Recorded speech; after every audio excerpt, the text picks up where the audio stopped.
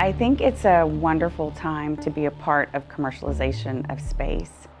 What we're going to see is, is an unfolding of a new industry. You don't know where it's going to lead. It's becoming easier and easier to enter the market and um, the demand is growing, not just from government customers, but from private customers as well. And Aegis Aerospace is right in the middle of all of that. Aegis Aerospace is a woman-owned and Hispanic-owned aerospace and defense company. We perform modeling and simulation, systems engineering and integration, cybersecurity, acquisition management, and most recently, space testing as a service. The fact that we're privately owned and that Stephanie Murphy is such an entrepreneurial business owner gives us the flexibility to try lots of different things, and we have. That includes commercializing space testing as a service. We're the first company to do that. We have been flying MISSE missions every six months, and we have put almost 1,500 experiments and payloads in space in that time for organizations ranging from two-year colleges uh, to MIT, to NASA, and many, many large and small companies. You don't have to be a government customer anymore or a government scientist to access space science and space research. You can be um, a university, a private company, a startup, um, a small community college, an elementary school, and you can have access to space testing. And so I think that's the bridge that's really important to us that we're helping um, try to cover the gap. As a young company, small company, working with Aegis was really fantastic because they're, they're postured well to help companies on a budget like ours actually get some answers quickly and buy down risk. Now today, as a larger company where we're over 600 people and we're in the thick of building the space station, we're excited with the opportunities to work with Aegis as a partner.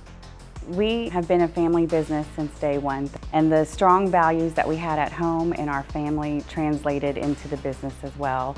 We treat our employees like family, and um, I think those values also translate into our relationships with our customers. Just like building any new economy, it's going to require a lot of different efforts from a lot of different individual companies to make it real. And so we're excited that we have this relationship with Aegis Aerospace to do all this together. We've been responsible for almost 3 million hours of payload operations in space, over 100 launches, and over 600 payloads put into orbit. One of the big things that we've been working on recently is RAC, which is one of our lunar payloads, and it's currently being prepped for delivery and will launch in the next couple years to the moon. And that's really exciting for me personally because it's one of the first things that will be going back to the moon since Apollo, and I've gotten to be a big part of that. The moon is a very difficult environment. It's not just the vacuum, it's not just the radiation, it's not just the cold or the heat. It's also the moon dust. It's sharp and it sticks to things and it gets in everywhere and it will ruin equipment. So before we can put people on the moon to live, we have to know how new technologies and new materials will interact with that lunar dust. They call it regolith. We have a new challenge every day. Uh, it's fun, but it's hard, and we can't get it done if we don't all work together. There is true teamwork. There's collaboration, and it's just a really good feeling to be part of a group of people that all have a common goal.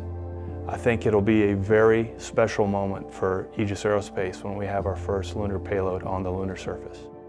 I am actually very new to the aerospace industry, so I am looking forward to growing with the team. And the first time you see something that you've worked on and built launched to space, it's like, wow, I don't know if I even believe this.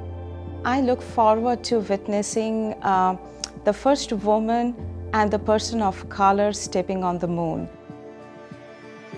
I think the space industry is right on the cusp of a very exciting time. We finally landed on a formula that works. And that formula is public-private partnerships with entrepreneurs. You need leadership that has an entrepreneurial spirit, an innovative spirit. You know, we're developing technologies and solutions that have never been thought of before, answering um, challenges and solving problems that have never come up before. And it's just a, it's a great time to be a part of the industry and we're looking forward to our bright future.